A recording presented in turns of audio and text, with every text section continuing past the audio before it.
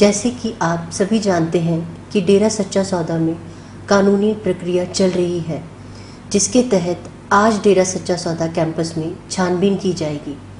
डेरा सच्चा सौदा हमेशा कानून का पालन करता रहा है। आप सभी से अपील है कि आप इस प्रक्रिया में कानून का साथ दें, वे शांति बनाए रखें।